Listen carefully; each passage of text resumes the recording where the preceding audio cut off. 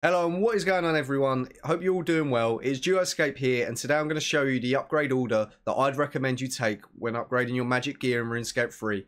This is the final gear upgrade guide on the channel and if you haven't done so already, I'd heavily recommend checking out my ranged or melee version first.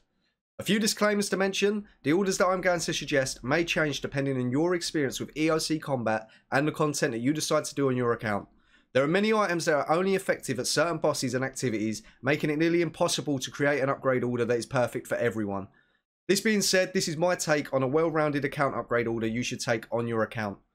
Everything in this video is up for discussion, so please voice your opinions in the comment section down below if you do not agree with a specific order or upgrade. This allows newer players to follow the dialogue and have an array of opinions to base their upgrade orders around. As many of you guys are aware, Magic is the weakest combat style in the game, hence why it's the last one that I made.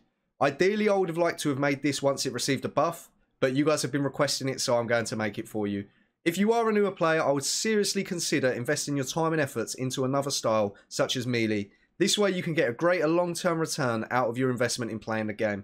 That being said, this is the beauty of RuneScape 3. If you enjoy a specific style, or enjoy doing a certain boss, do what you enjoy. At the end of the day, it's a game, and as long as you're having fun, that's what's important.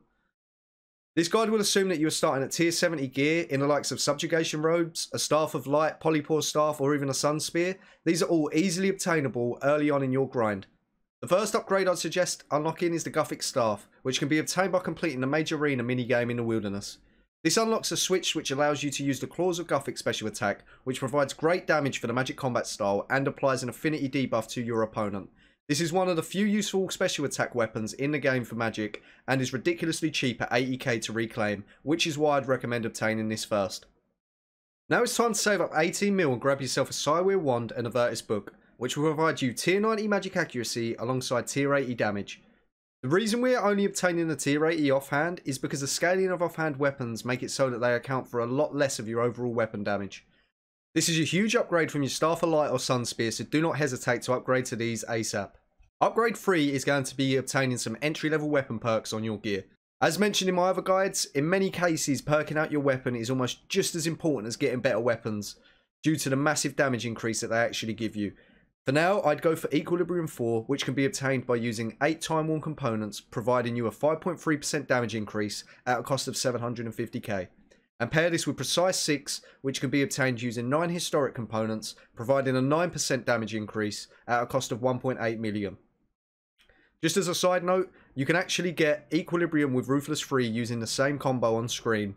However, this is significantly rarer, and it is really useful for Elite Dungeons and Slayer. However, this upgrade will cost you more and is not necessary at this point in the game. Also, if you do a lot of Slayer, you can pair Precise 6 with Genocidal for some bonus damage while on task. Next up, I'd suggest purchasing a Mazcab ability codex to unlock the Corruption Blast ability. This unlocks a basic ability which can be used every 15 seconds, applying a 5 hit bleed to your opponents that spreads to surrounding enemies in an AoE fashion. Basic abilities are really important for magic as it does not have access to all of the strong basics that ranged and melee has. This will set you back about 45 to 50 million at current prices and is a must have for your account.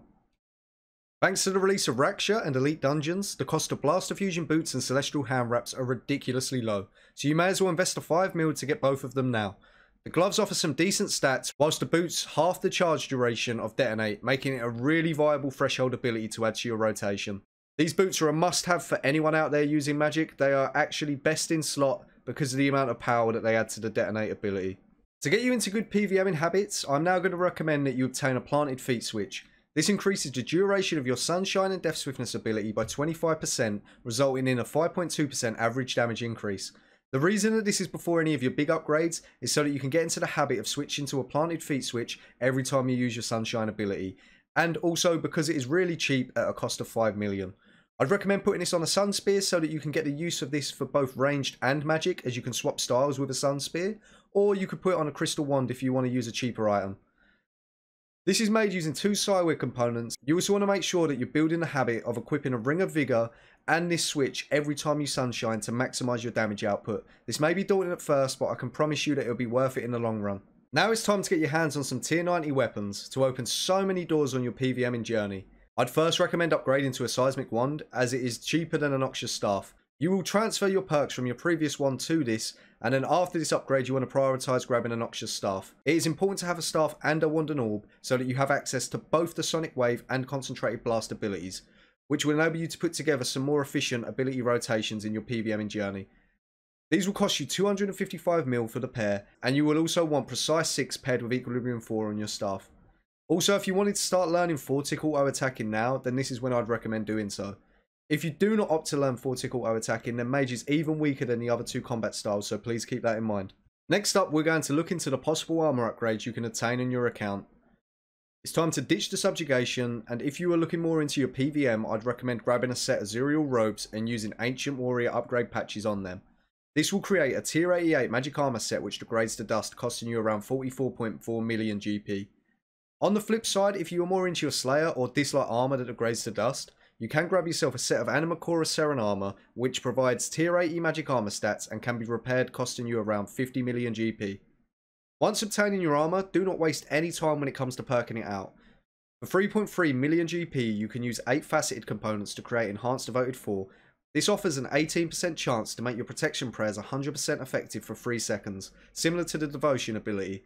This is a really nice upgrade and will help reduce the amount of damage that you take while PVMing which will enable you to do even more damage and focus less on staying alive.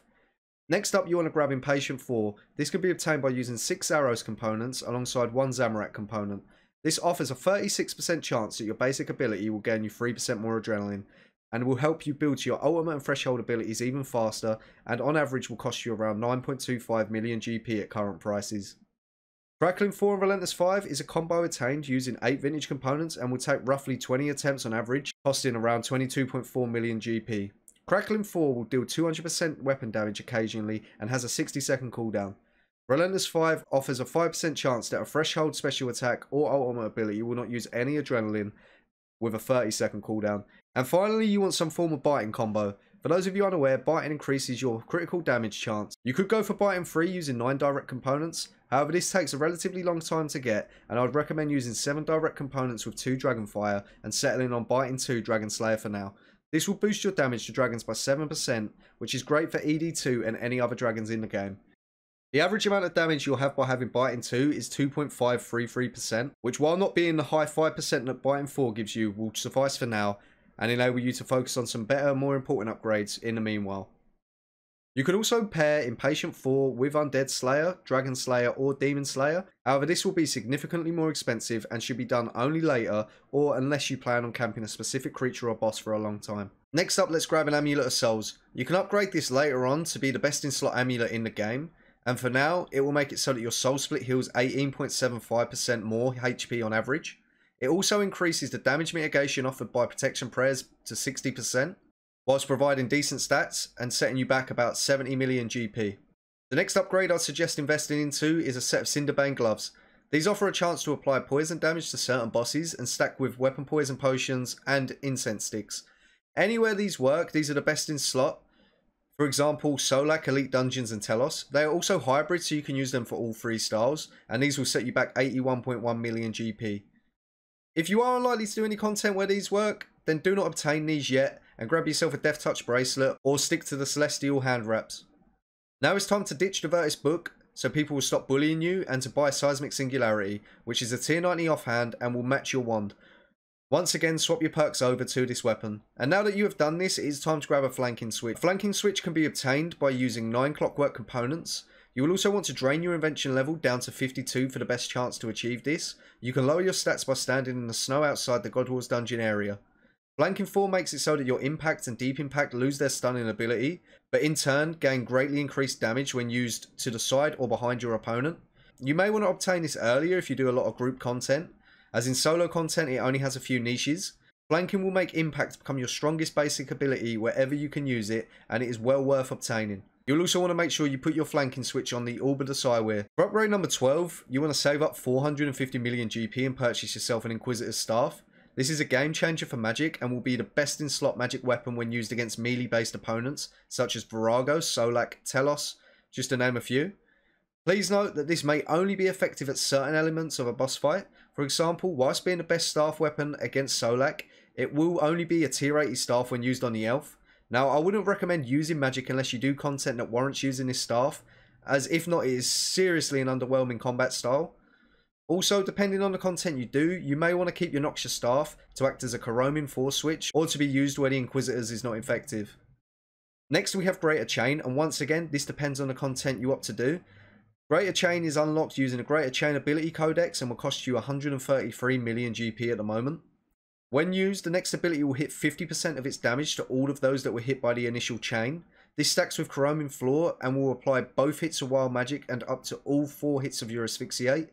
However, please note you cannot swap targets when using this, because if you do, you will lose the buff. If you do not do any Slayer with magic, or any bosses where you have to kill multiple targets, then you may want to skip this upgrade altogether for now.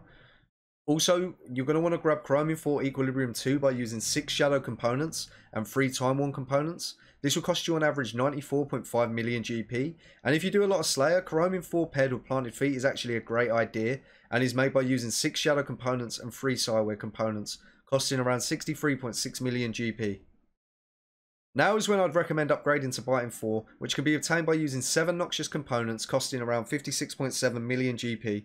Please bear in mind that when you disassemble a Noxious weapon for Noxious components, it will cost you 160 million up front. However, this will provide 13 spare components which can be used later. If you wish to see all of the various combinations you can pair Biting 4 with, check out my range upgrade guide for them. This perk offers a 5.07% damage increase which goes up to 5.5% once you hit item level 20. Time to purchase a Reaper necklace and use your souls to upgrade to an Essence of Finality.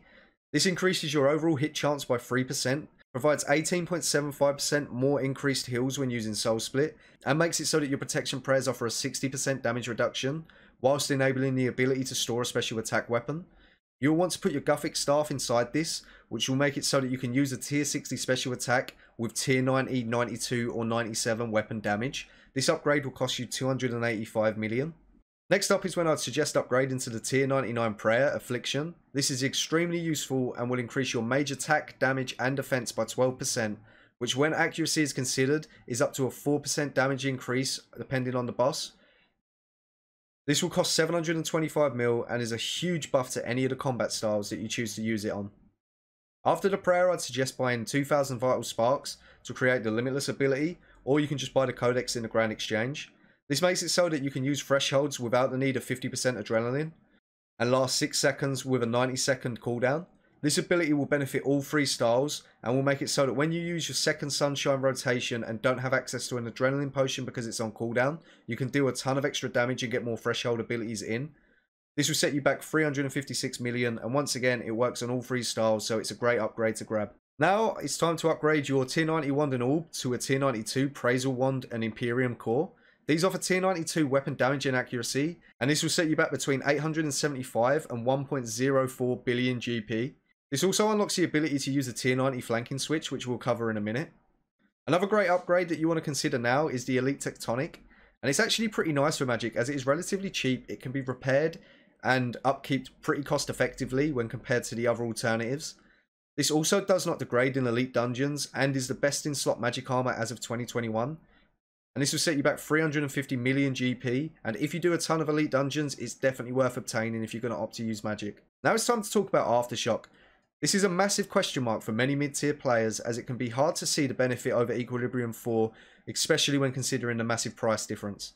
Aftershock is a perk which applies an AoE explosion every time you deal 50,000 damage, hitting on average 127.2% ability damage to your opponents. Do not bother with just Aftershock 4. For this to be worth it, you really need to pair it with Equilibrium 2. The combination is on screen, and this can be obtained using 6 Ilujankan components paired with 3 Time Worn.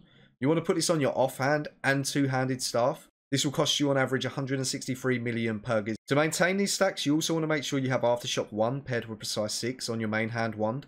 This enables it so that you can still have Aftershock when equipping a shield or using a flanking switch, and can be obtained by using 2 Ilujankan components and 7 Armadyl components costing on average 46.6 million GP.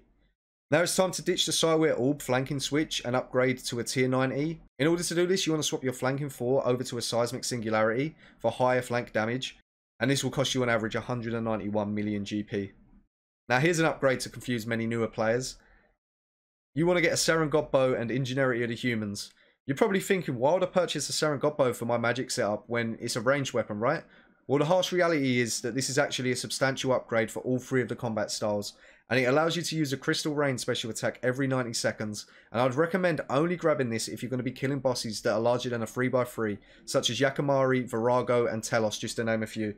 You can look on the wiki to see all of the bosses that this is worth using at, it will tell you the exact amount of damage it does on average per hit. You have to pair this with the Ingenuity of the Humans ability, as this allows your next hit to be a guaranteed hit, and without using this for the Serengod bow, using all of your magic gear, it's just going to splash. So you definitely want to make sure you have both of these paired together. For more of an in-depth explanation of this weapon, check out the range guide. Oh yeah, and the fun doesn't end here. If your opponent isn't a 3x3, don't think you've got away with using a really weird weapon for magic. It's actually worth using a trimmed masterwork spear with your ingenuity humans as well to occasionally bleed a dismember every 90 seconds. And this is actually pretty good and it's another prime example of how lacking the magic style is. And the final upgrade that I'd recommend you getting, kind of, is the Staff of Sliske. This literally used to be the king of weapons in the game and now it's pretty much been burnt to the ground because of the Inquisitor's staff, the other combat styles being extremely strong, and the nerf of continuous 4 tick auto attacking. Unlike the other Telos weapons, the special attack is pretty much useless on this weapon, and the weapon is only better than the Inquisitors at a handful of places, so you probably won't even need to grab this and this will set you back 690 million GB. As an honourable mention, I'd like to point out the new Channeler's Ring. It's actually a pretty good ring for Magic, but the issue is you either have to bring an extra switch or give up your Ring of Death, Vigor or Asylums in order to use this.